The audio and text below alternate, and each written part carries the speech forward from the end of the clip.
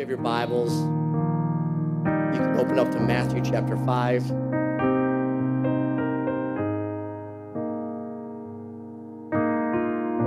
Many of you will know this. Many of you will know this verse, often referred to uh, as the Sermon on the Mount.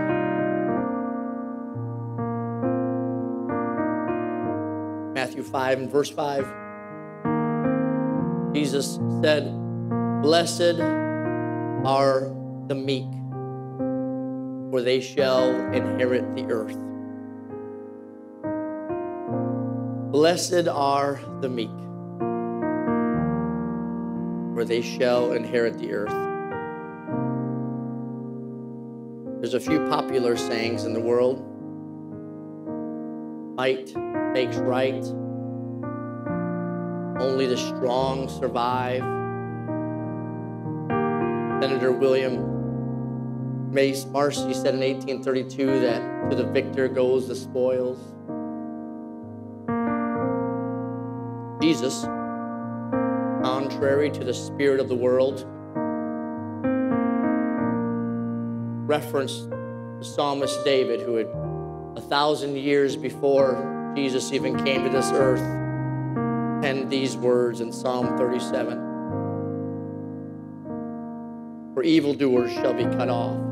Verse 9. But those that wait upon the Lord, they shall inherit the earth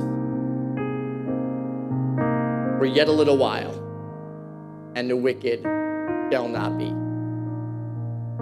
Yea, thou shalt diligently consider his place, and it, it shall not be. Verse 11, David says, But the meek shall inherit the earth and shall delight themselves in the abundance of peace.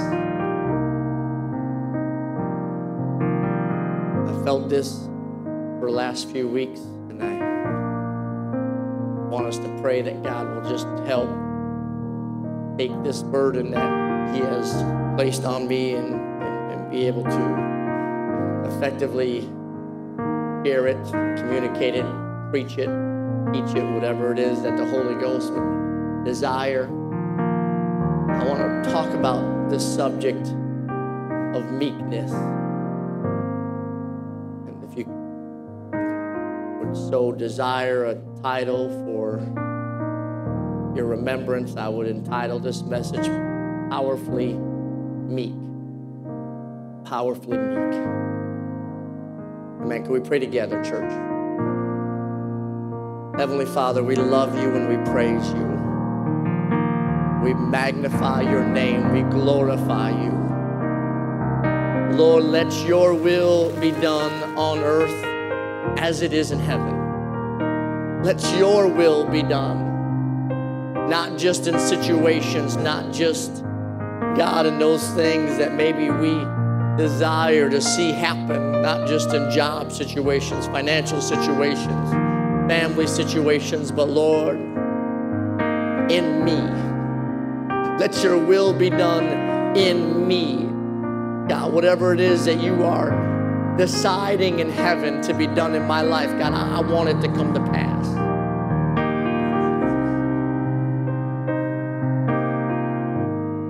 In Jesus' name. Jesus' name, amen. You can be seated. Amen.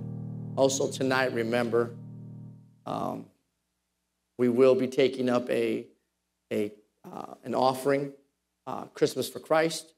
Uh, we talked about that a couple um, couple weeks ago, but we will take up an offering during the Christmas program tonight. Uh, everything that is collected tonight in the offering will go towards um, North American missions. Um, and also, you'll notice in the vestibule that uh, Sister Shelley made some peanut brittle and some homemade suckers, and she wants uh, all the proceeds of that to go to uh, Christmas for Christ. So you can wait until the service is done. But uh, I did check it out; looks looks delightful. So thank you so much for that. Or very early in your Bible, you are going to meet uh, a person by the name of Joseph. Joseph is called a dreamer. Anybody know dreamers? Anybody know those people that just you know what? They're, they're, they're, they're, how do I say it nicely? Their, their head is always in the clouds. They're, they're always looking for that next big thing. And, and, and they're just, they're not quite so much focused on the here is now as much as they are really just, hey, I have an idea, or, you know, one day here's what I'm going to do. And, and, and that's how Joseph was. Joseph was a dreamer. And not only was Joseph a dreamer, but he was also the youngest of a big family, and he was kind of the golden child, right? He, he got the coat from dad. He was, he was daddy's special boy.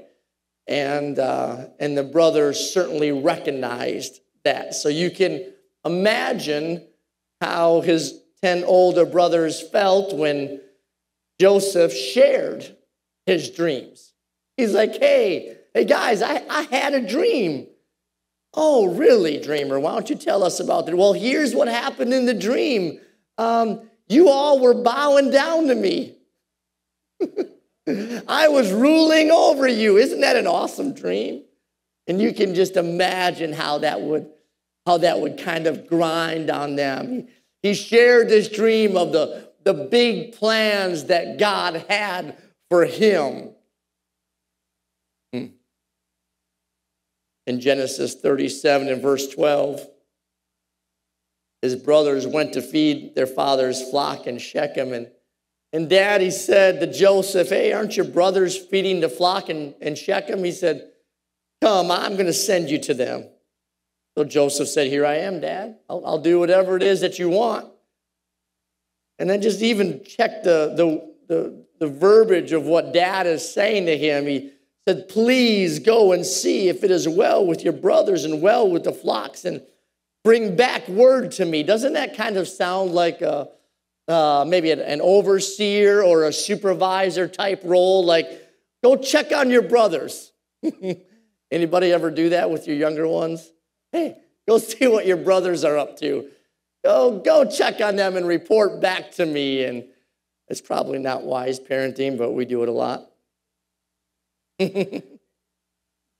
That's probably probably not a good way to, to help the, the, the sibling relationship, but that's kind of what, what, what father had said to Joseph. Go check on your brothers and go see what they're up to, and then I want you to report back to me. So he sent him out of the valley of Hebron and he went to Shechem. And, and once Joseph got to his brothers in, in Shechem, his brothers planned to murder their younger brother. They later settle on instead selling him into slavery. Can I just stop for a moment and tell you that this world loves to crush, to crush your God given dreams? This world wants nothing more than to take those promises and those, those, those dreams that God has given you. And, and this world wants nothing more than to crush them. This world wants nothing more than to, to snuff out the life of those dreams that God has given you. But even though his family left Joseph, God did not. Genesis chapter 39 and verse 1. Now, Joseph had been taken down to Egypt. He was, uh, he was thrown into a pit. He was uh, sold into slavery, and he, he was taken out of his, his homeland, taken down to Egypt. And uh, down there, Potiphar, an officer of Pharaoh, captain of the guard, an Egyptian, bought him from the Ishmaelites who had brought him down there. But verse 2 says this the Lord was with Joseph. So even though his family pushed him out. Even though his family left him, God was still with him. And, and not only that, the Bible says that he was a successful man and was in the house of his master, the Egyptian. And his master saw that the Lord was with him and that the Lord made all he did to prosper in his hand. Verse 4 So Joseph found favor in his sight. And served him and he made him overseer of his house and and all that he had, he put under his authority. Do you see how, how even though uh, even though it's not working out the way Joseph thought it would, it's not working out according to his dream, God is still doing something. So it was, verse 5 says, from the time that he had made him overseer of his house and all that he had, that the Lord blessed the Egyptian's house for Joseph's sake, and the blessing of the Lord was on all that he had in the house and in the field. God was with Joseph. While in Potiphar's house, Joseph did his best to serve his master. Look, he, he wasn't where he wanted to be, he wasn't where he should be. But God still blessed him, and Joseph didn't hang his head. He still did his best. He, he served his master the best that he could. Amen? So, no matter what situation you're in, I don't know if this is, I don't know if I'm in the right job. Well, I, I don't know either, but while you are there, do the best you can. I don't know if I'm, you know, I, boy, I, the, my neighborhood, I'm, I don't know if I should be. Well, while you're there, do the best you can. God will, will, will bless you. God will be with you right where you're at. While in Potiphar's house, disaster strikes again. This time he is accused by Potiphar's wife of sexual misconduct, gets put into prison. Here he is doing the best he can, serving, serving Potiphar the best he can. God is even blessing him, but disaster strikes again. Someone lies about him, someone accuses him of something he did not do, and he gets put into prison. Genesis 39 and verse 20. Then Joseph's master took him and put him into the prison, a place where the king's prisoners were confined. And he was there in the prison. Verse 21 says this But the Lord was with Joseph. Put into prison. He's, he's, he's shackled. He's, he's, he's taken out of the element that he was, he was, he was blessed in. Certainly, God was certainly, certainly this is where you still wanted me, right? God, you were even blessing what I was doing, but even though he got put into prison, God was with him and showed him mercy, and he gave him favor in the sight of the keeper of the prison. And the keeper of the prison committed to Joseph's hand all the prisoners who were in the prison. Whatever they did there, it was his doing. You see how God is still working. Let me just stop and say that your situation may not be optimal. You, may have taken a wrong step. Someone may have, have, have lied about you. Someone may have, have accused you of something you didn't do. You may, you may not be in the, in, the, in the right place. You may not be exactly where God wants you, but God can still be with you. God is still with you. And God can prosper you right where you are at. I'm not talking about sin. I'm not, I'm not talking about backsliding. I'm talking about circumstances that, that you did not foresee, that you did not plan out, and, and just somehow, here I am. I'm in this situation, God. It's not where I wanted to be, but here I am. God is still with you, and God can still prosper you, and God can still bless you. Still has a purpose. Verse 23 the keeper of the prison did not look into anything that was under Joseph's authority because the Lord was with him. And whatever he did, the Lord made it prosper. And one can, I, I cannot help but think, wonder, how in the world did Joseph stay strong in the midst of all of this? Having your family neglect you, having your family turn their back on you, selling you into slavery, talk about murdering you. Having, having someone who, look, they, they were almost the, the, the, the, enemies of the Jews and, and he gets put into uh, an Egyptian's house, a, a place that they, they did detestable things. But what did he do? He put his head down and he served. He did, he, he did everything unto the Lord. He tried to do the best he can. And what happened? Someone lies about him. And not only that, the guy he worked so hard to serve tur- turns his back on him and throws him into prison. How much more can you take, Joseph? Letdown after letdown, disappointment after disappointment. He goes on to correctly interpret the, uh, the butler's dream. There's, there's, there's a couple other people in prison with him, and, and they share their dream, and, and he's still spiritually sensitive enough to, to discern the Lord's interpretation. Something tells me he is still staying connected to God. He is still praying. He is still calling out because when that situation arises where, where, the, where the butler and the baker said, I have a dream and I, we don't understand it, Joseph is still spiritually sensitive enough and hears the voice of God enough to correctly interpret the dreams. The dreamer begins interpreting other people's dreams. Imagine that. He, he doesn't know what his dreams mean. He would love for someone to interpret his dreams. I had a dream a while ago that, that I was a ruler, but no one interpreted that for me. I found myself thrown into a pit. I found myself thrown into slavery. I found myself put into prison, but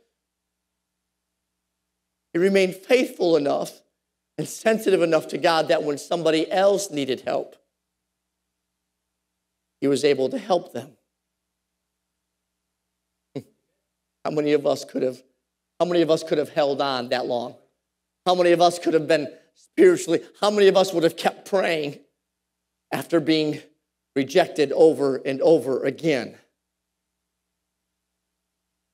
So he interprets correctly the butler's dream, only to have the butler forget all about it.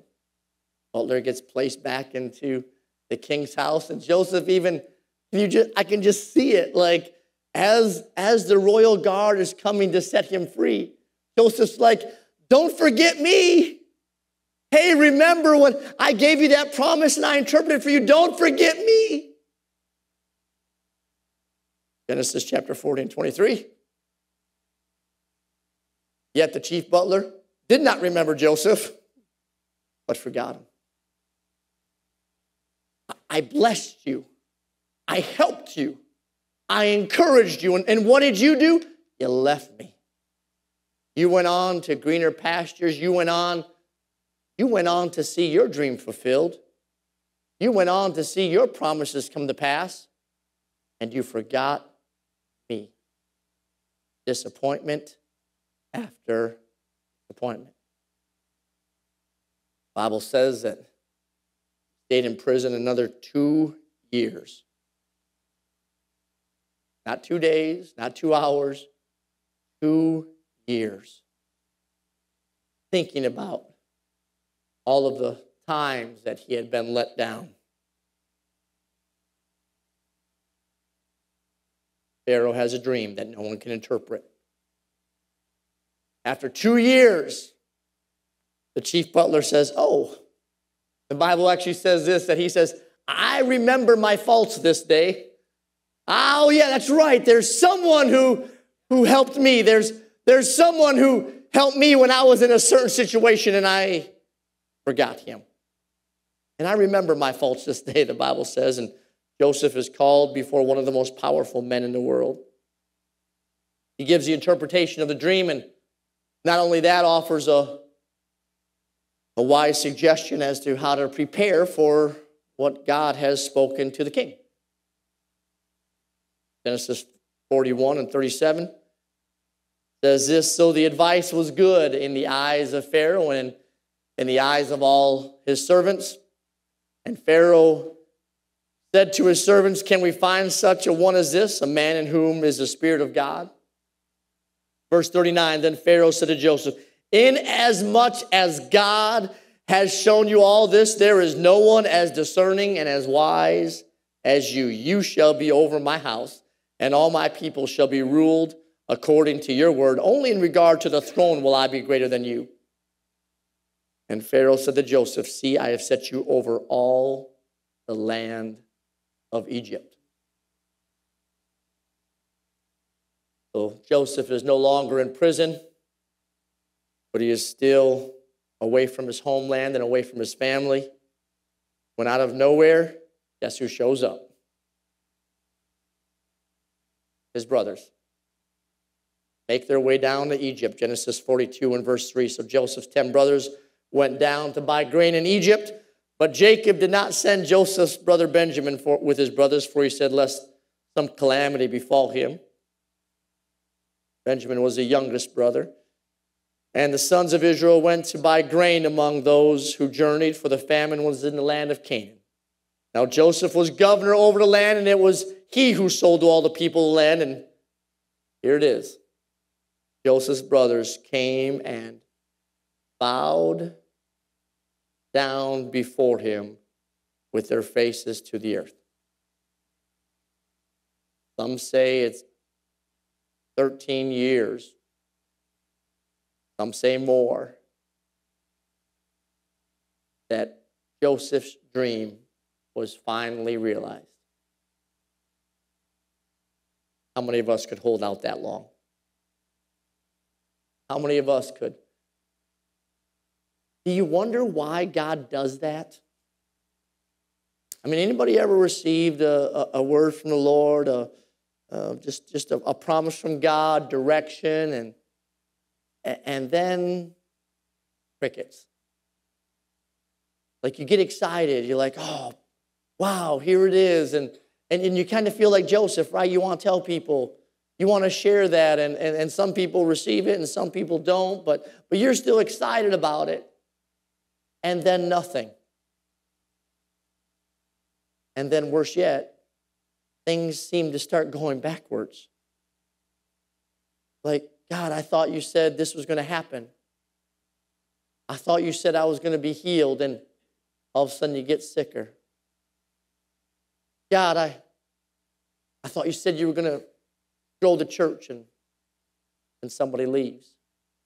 God, you thought, I, I thought you were going to bring this, something about come to pass in my life, then all of a sudden you, you feel like you're further away from that goal. That's the life of Joseph. That's look, there's a reason this been this is given to us. There's a reason that there is so much detail in this story. There's two lessons from this story that I want to point out and maybe just camp out around if I could. First point is this if you stay the path, if you stay the path, God's purpose in your life will be fulfilled. But you got to stay the path. I don't know about you, but I do not see very often in the, in the Word of God, and, and I do not see very often in my own life where God gives a timeline. That's on purpose. Church, that is on purpose. There's a reason that, that, that, he will, that he will give a promise and then draw back. That, that is walking by faith, right? Often we'll use the line that the the teacher is silent during the test. Right? You, you study, you prepare, you do all that stuff, and, and then the test comes. And, and, and, and, you, and you're wondering, teacher, I, I got a question. And the teacher's like, not now. You're in the middle of a test. You're in the middle of a trial. You're in the middle of a you're in the middle of a faith building opportunity. I'm still there. God is still there. But he's often silent.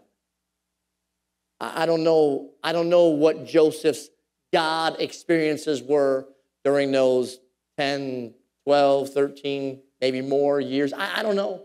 I don't know if God appeared in a vision. I don't know if God spoke to him through prophet.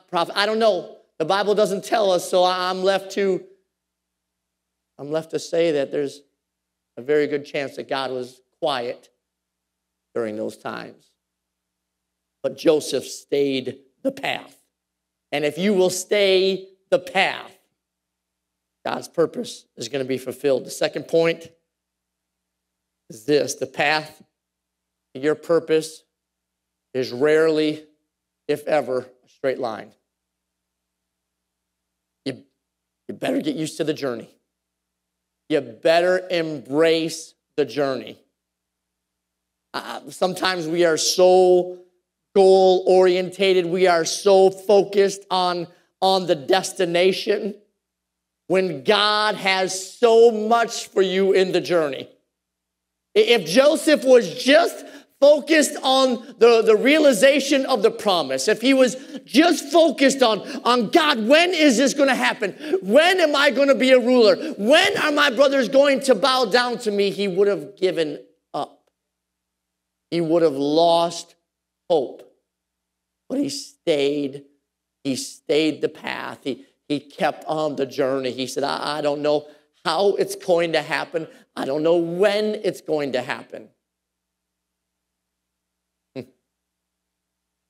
I remember, and I may have shared this before, but I remember vacuuming right about where you are, Brother Alberto, and praying, feeling this, feeling this call to ministry, feeling that God was, was shifting something in my life and and not knowing what it looked like, not, not knowing where he was calling me, and, and just not knowing the when, but, but just feeling this, this, this, this, this burden that I, I could not. I tried to sit down, I just couldn't, couldn't set it down. And, and I remember listening to, to preaching while, while, I was, while, while I was vacuuming, and, and I finally just said, God, I don't care how long it takes.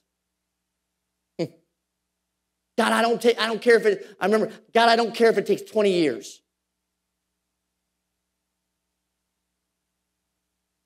Set it down. I set down the timeline. That's important. That's important. For us to dictate to God the timing is foolish. It's foolish. Right? God's timing is, is way different. The Bible talks about, you know, a, a day with God's like a thousand years. I mean, we can't, we do not understand his timing. So for us to try to pin God down to a certain time. Now, now, now pray specifically, there's nothing wrong with that. Set goals, sure.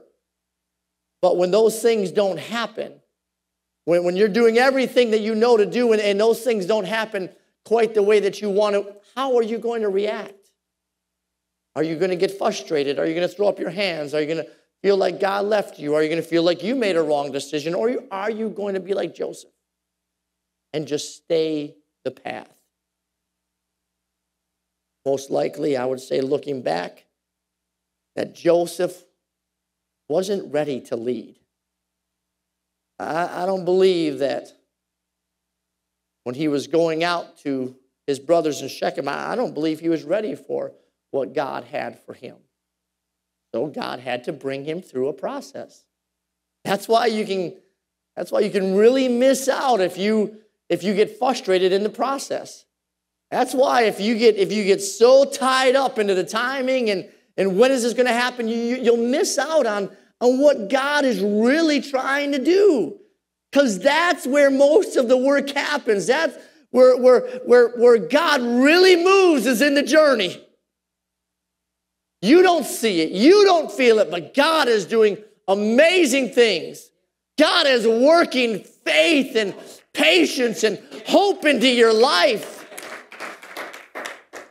if you let Him. Which brings us back to the subject of meekness. Psalm 25 and verse 9 says, The meek will he guide in judgment, and the meek will he teach his way.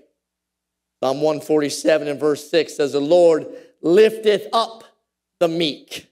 He casteth the wicked down to the ground. Isaiah 29 and 19, the meek also shall increase their joy.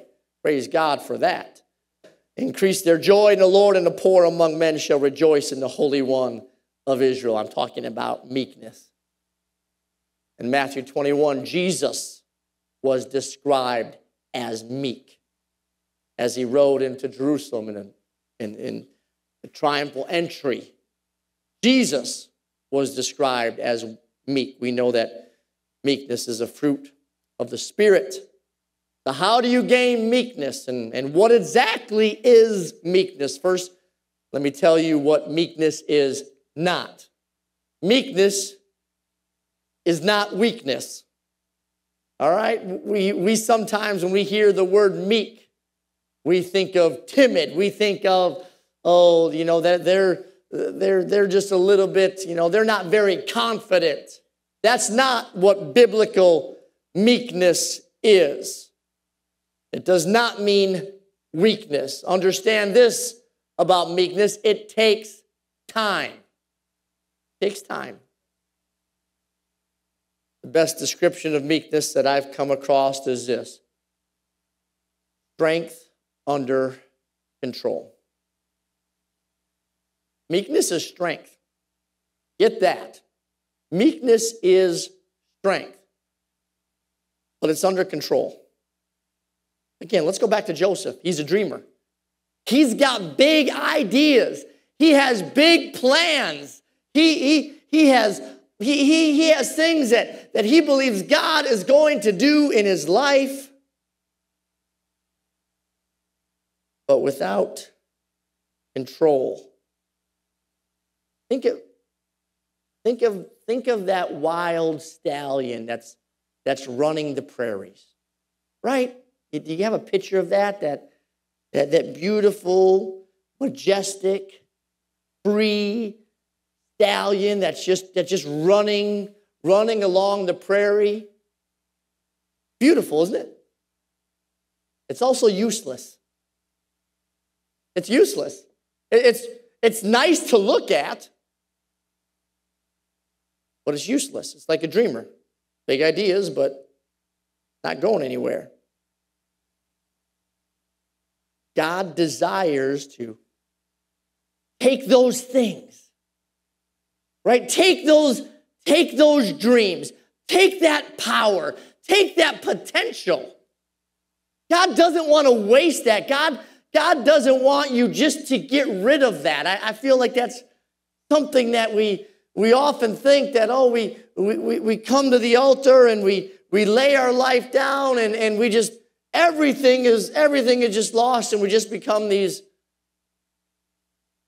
monkish christians that you know lock ourselves in a tower and we're just going to wait for his coming. No that is not what living for god is about.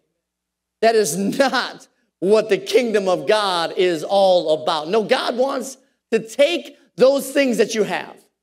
God wants to take those dreams. God wants to take those aspirations and those, those big ideas that you have. He wants to use that. I, I firmly believe that, that when, when, when there are dreamers in our midst, that I believe that is the way that God created them. And I don't believe we should push them down. I don't believe, we, oh, you just, you're just too proud or you're just, oh, they're a dreamer. Let them dream. God can use that. Here's what God can't use God, God cannot use weakness. God cannot use somebody who just isn't going to do anything. Well, I'm just going to I'm just going to wait until God moves me. I'm just going to wait until well, you'll be you'll very likely be waiting for a while. But but someone who will take what God has given them and allow God to bring it under control. Amen? I'm thankful for our youth leaders. I'm thankful for the youth staff. I'm thankful for music department that, that takes these young people and, and, and lets them, lets them do some things. Lets them get out there and, oh, I don't know if they're quite ready yet. No, I, I tell you, they're not ready yet. But what are the options? We just sit them down and and, and tell them you can't do anything uh, until? Or do we let them get out and, and, and begin to, to, to, to try to exercise what God has given them? God can use that. God can use somebody who says, Lord, I have a dream. God, there's something I want to do for your kingdom. I don't quite know how it all works out, but God, I want to do something. God can use that. Be ready for the process. The bigger the dream, the, the bigger the lessons that you have to go through. Greek war horses before they were used in battle, they were what is called meek. They were, they were, they were, they were broken. They were, they were trained to stay in the battle rather than flee at the sound of loud cannons. They were meek. They were broken. They were trained. These are the, these are the, the tanks of the ancient world, the, the war horses, those, those majestic stallions that were running the prairie. They had to be brought under control, they had to be harnessed until they became useful. You're not going to be useful in the kingdom of God until you're harnessed, until you, until you are brought under his control. Until then, you're running the prairie. You may be pretty to look at. You may think that you're free, but you're useless. What is, what is useful in God's kingdom is someone who is meek, someone who is broken, someone who is brought under the control of God, someone who is humbled, somebody who has gone through some things like Joseph.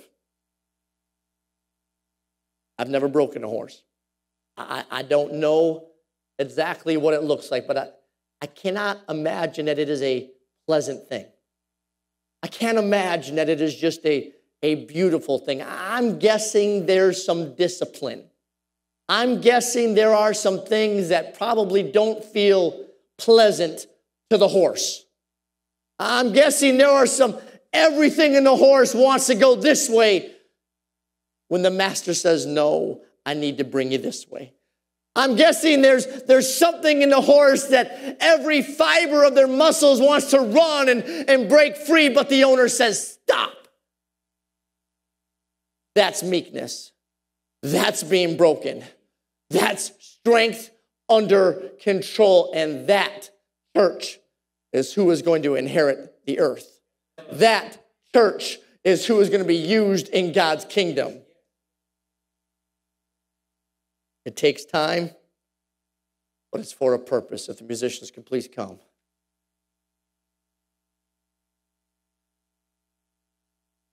Again, I, I think back to some of our young people. I think back to the energy. I, I see the energy that some of our children have, and, and, and they, they, they, they want to do something. And I, I just, I equate them, I, I, I picture them as, as that horse that is just kind of running free. There's a time. There's a time.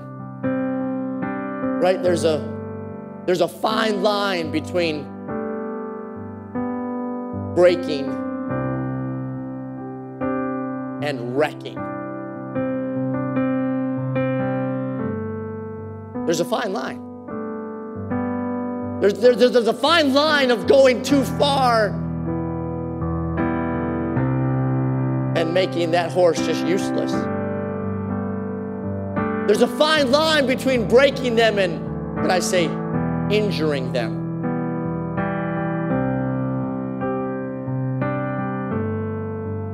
Only God, only God knows the how, the when, the what. But can I tell you one thing? This I know it takes time. It takes time. Will you allow yourself to be broken by God? Do you want to do something for the kingdom?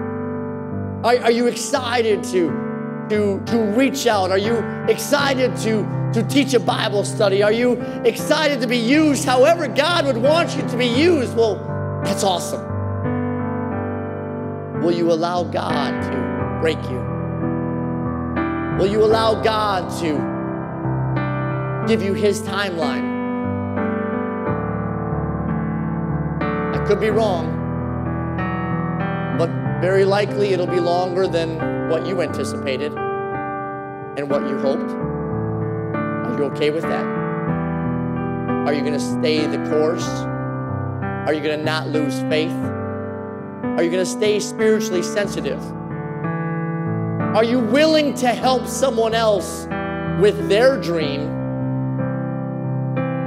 while your dream is still unfulfilled? Can you celebrate with someone when their dream is realized? When in your eyes, oh, how did that come so quickly to them? How, how come they were let out of the prison so quickly when I never even did anything? And two more years he stayed in that prison cell. Can you do that? If so, God will use you. God will use you.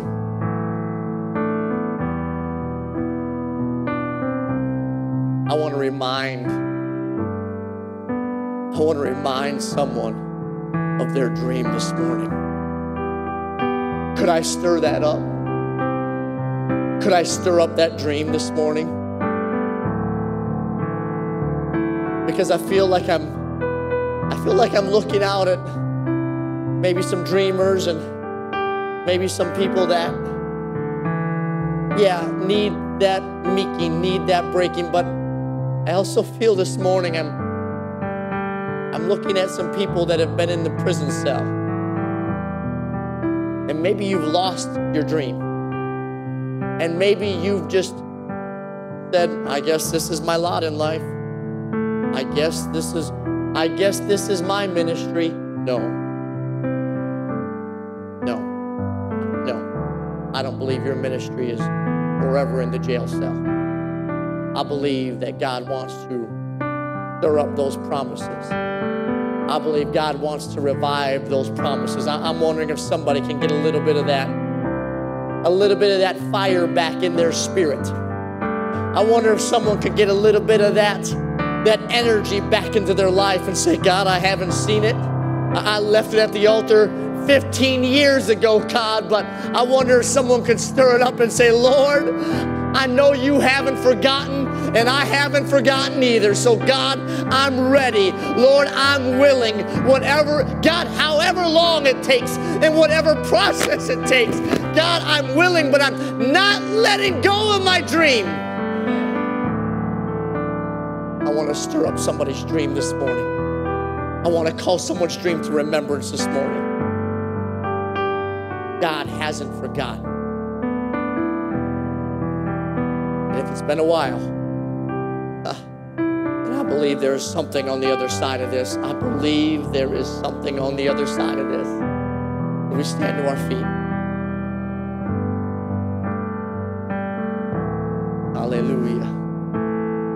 Man does not know. I do not know. There was no one in, in Joseph's life that could have laid that out for him, that could have told him how much longer. He was in the enemy's house, he was in Pharaoh's house. He was so far away from God's people and in the presence of God. And maybe you feel like that. Maybe you feel like, God, I don't even know how you can work in this location. I am in the house of Potiphar. I am in an Egyptian prison. How can I be any further away from where you want me? maybe because Joseph never could have imagined that that promise would have met him in Egypt that his brothers, that his family would have traveled all those miles into a foreign land to bow down at his feet.